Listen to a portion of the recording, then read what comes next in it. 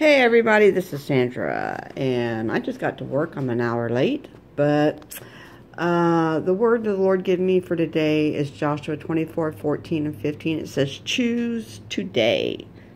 It says, Now, therefore, fear. Fear in Greek means reverence. The Lord, which is our master in Greek. And serve him in sincerity, it means purity in Greek.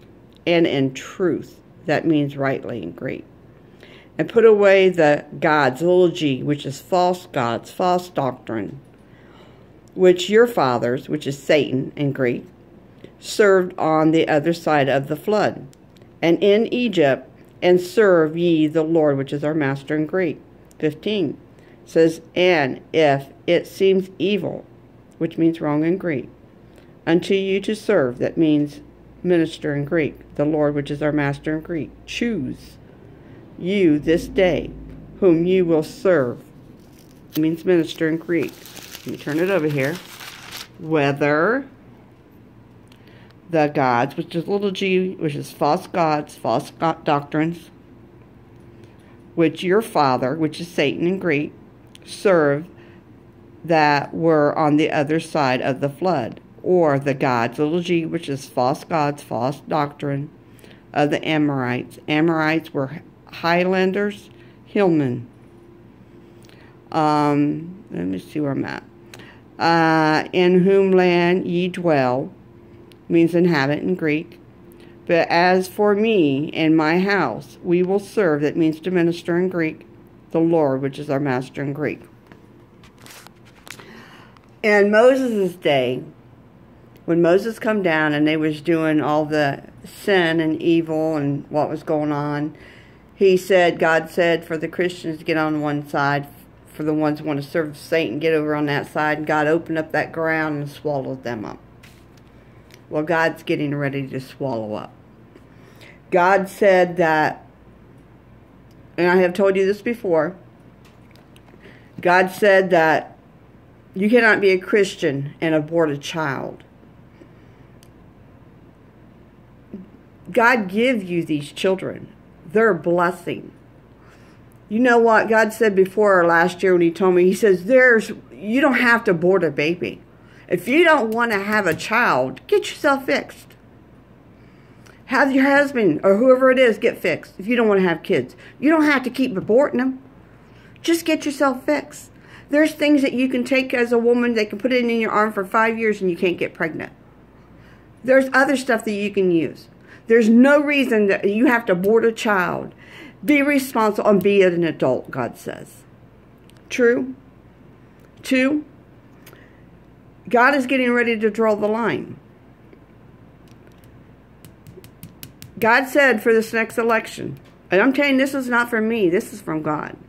God said at this next election, any Christian that goes into that booth and boots for a Democrat, God said to tell you he's done with you.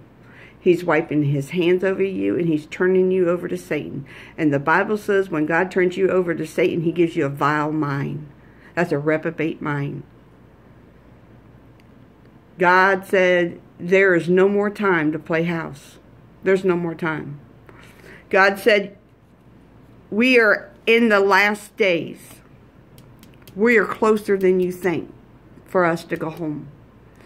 That he no longer has time to fool around for someone to be saved. Whatever it takes is what he's got to do now, today, to bring that person in, that soul, so they do not go to hell. God said to tell you he's warning you. He's warning the church. He's warning every preacher. God said that the pulpit is going to be judged. Every preacher in that pulpit is going to be judged.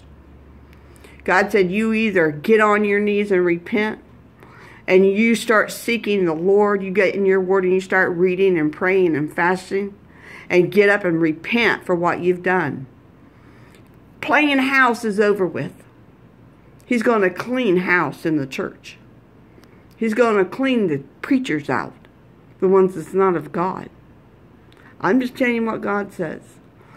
I pray every time God puts up my spirit to put something on Facebook, and I always pray, God, open the door that 100% of you shut the door, be zero of me, God. I don't want nothing in it. I want it to be all God. So God is warning you that if you're a Christian, there ain't no more abortions for you.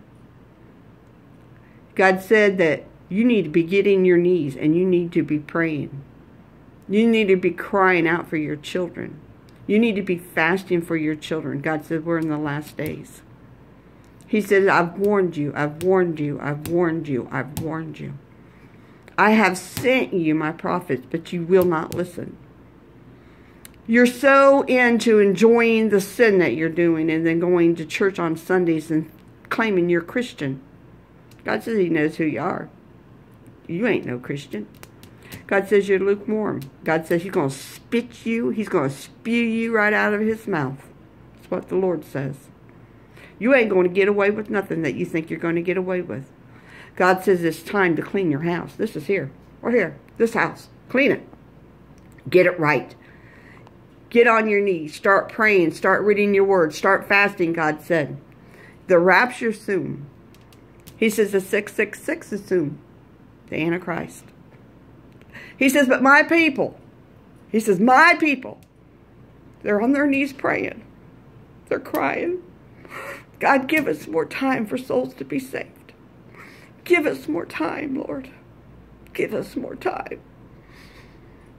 God's giving them more time. He says, I'm trying to give you more time. You choose who you vote into the offices. He says, I sent you, Trump. I sent that man. God said, I chose him for such a time as this.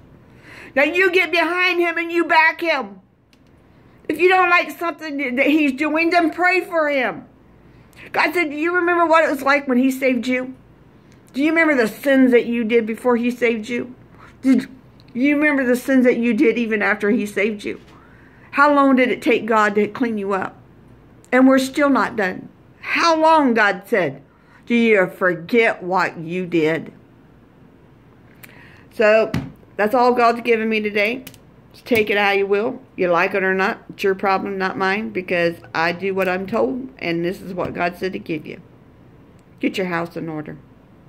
God said judgment's coming to the United States for all the abortions that we aborted the babies. We as Christians, we may not have aborted a baby, but we allowed it. We didn't do anything to fight to stop it. God said he has this woman that's running right now for the babies, he said. She's trying to defend them. He said, pray for her. He chose her for such a time as this. Call her up. Ask her, what can you do to get involved? Get involved as Christians. Get involved as your church, as a group. Unity. You need unity, God said. Get involved being silent. You're going to stand in front of him, he says, and you're going to be judged for what you did and you did not do. Get involved. So that's all God's given me today. Y'all take it as you will, like it or not. Have a good day. Amen.